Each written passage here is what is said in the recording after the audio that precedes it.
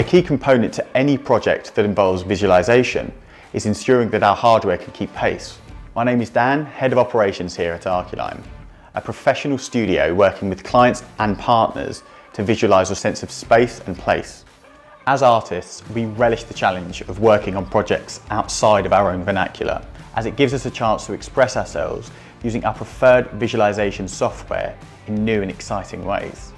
We worked with NVIDIA, the creators of the powerful RTX graphics cards, and Lenovo, whose fourth generation ThinkPad P1 laptops enabled us to collaborate on the move with live Chaos Vantage workshops. Simply put, without which creating landscapes such as this in 3D would not be possible.